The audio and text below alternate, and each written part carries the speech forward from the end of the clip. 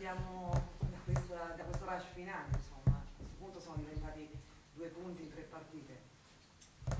Chi ci racconta questo rush finale? Che ci potrebbe raccontare? Eh, vediamo, è tutto, da, è tutto da scrivere, vediamo. Vediamo quello che, quello che ci riserveranno queste, queste ultime tre giornate nelle, nelle quali ci sono così tanti scontri, così tanti intrecci che sarà bello vedere un po' come, come si svilupperanno.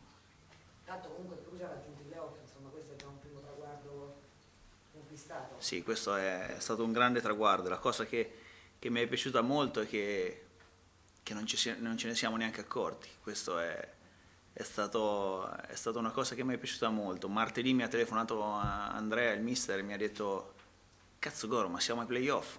Eh, sì, io ho detto siamo ai playoff, però domenica non, non se n'era... Non se, non se n'era accorto nessuno, non ci aveva pensato nessuno, era, eravamo tutti quasi preoccupati, quasi ci sembrava quasi che dovevamo chiedere scusa per aver vinto senza aver giocato bene.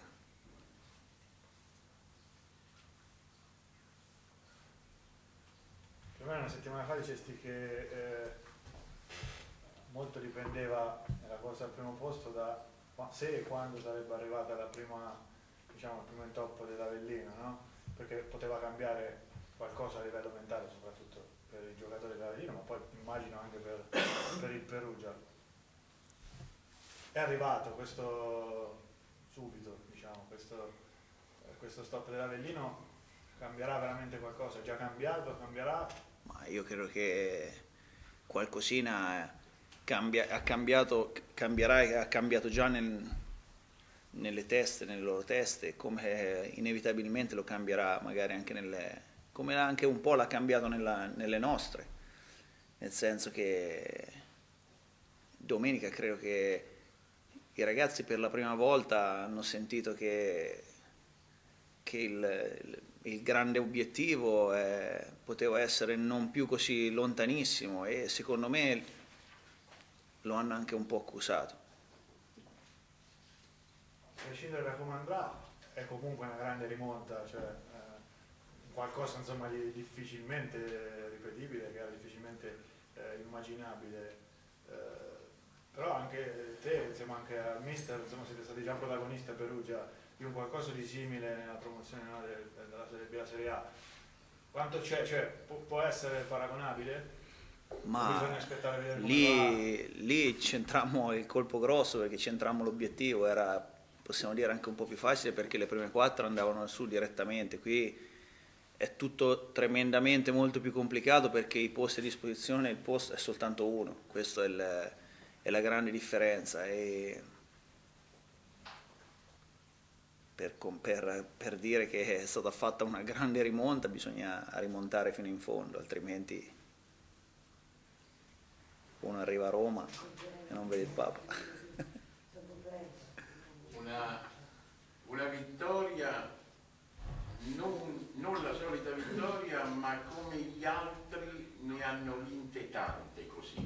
Eppure eh, le critiche sono comunque arrivate perché perché la gente ormai si è abituata in un certo modo, ma al di là di questo, eh, forse i tifosi vorrebbero essere rassicurati sul fatto che domenica è successa una cosa assolutamente normale, un calo di concentrazione, non è che il Perugia si è accesa la lucina della riserva fisica.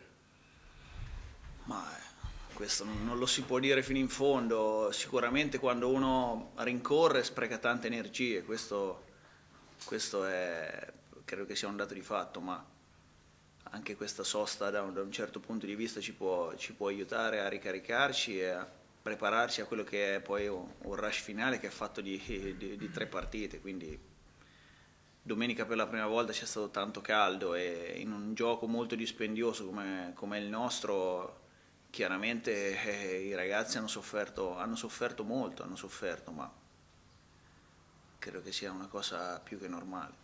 Fatto che, come dicevi prima, hanno sentito la possibilità di realizzare un sogno che gli hanno accusato, cioè si può perdere la spensieratezza adesso?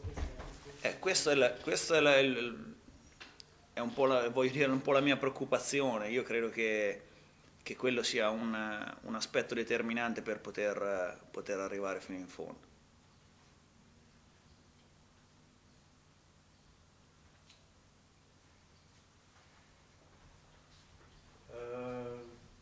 Favigno a gennaio eh, è stato richiesto e quindi insomma è stato tra...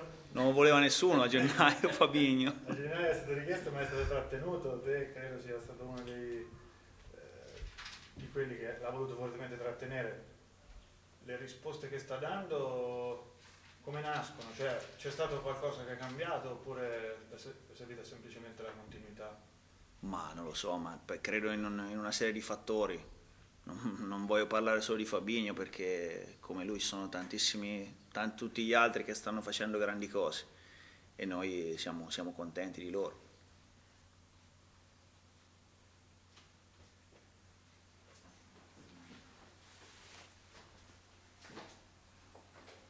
Eh, mi rifaccio al colloquio che hai avuto con Campione ieri, no? qui credo che vi siete sentiti sottolineando questo aspetto che magari era passato inosservato non per mettere magari sale su una ferita che riguarda la questione di sostituzione, ne abbiamo parlato anche la settimana scorsa, ma è un argomento questo che affronti tu personalmente con il tecnico, perché in virtù di quella spensieratezza di cui c'è bisogno, anche magari una maggiore freschezza, dare un pochino più di respiro anche quando è in corso alla rosa, qualche elemento importante che c'è potrebbe essere un valore aggiunto in questo rush finale. Senza dubbio, ma si parla di tante cose, parliamo indubbiamente c'è, c'è confronto su tutto, assolutamente su tutto. Chiaramente il mister fa le sue, fa le sue scelte e io credo che, che le faccia con cognizione di causa e sempre per il, per il bene della squadra.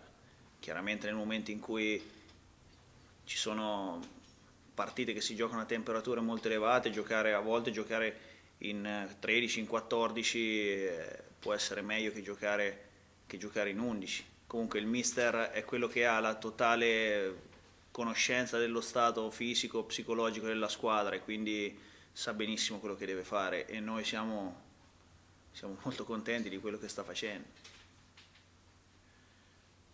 E allora affrontiamo l'ultima decisiva. Eh, lei è direttore, il direttore è dentro la società.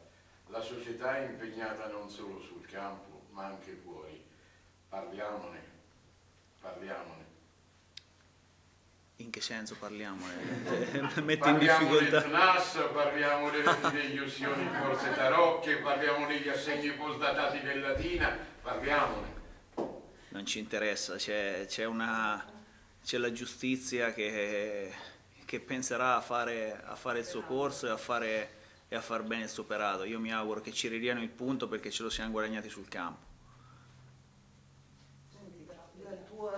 Raccomandazione quindi qual è queste, queste, ultime settimane? Insomma?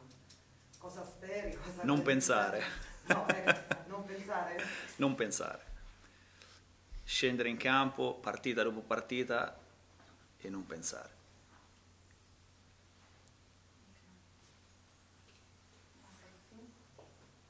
Fatto che la partita, fatto appunto che si diceva la partita ha messo un po' in difficoltà per lui, ha fatto che le prossime tre partite saranno sulla stessa falsa riga, questo è un motivo, diciamo, un po' di, non dico di preoccupazione, ma insomma... Ma no, è un motivo su cui, su cui lavorerà l'allenatore, sono aspetti su cui lavorerà il mister, chiaramente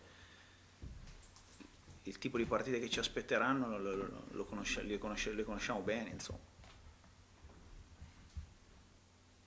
È un po' oggi sei esplosivo, eh? Bene.